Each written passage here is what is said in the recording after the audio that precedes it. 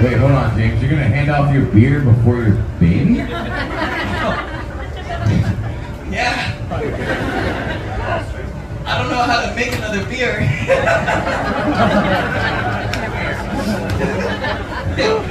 Sorry, kids, that one's for the adults.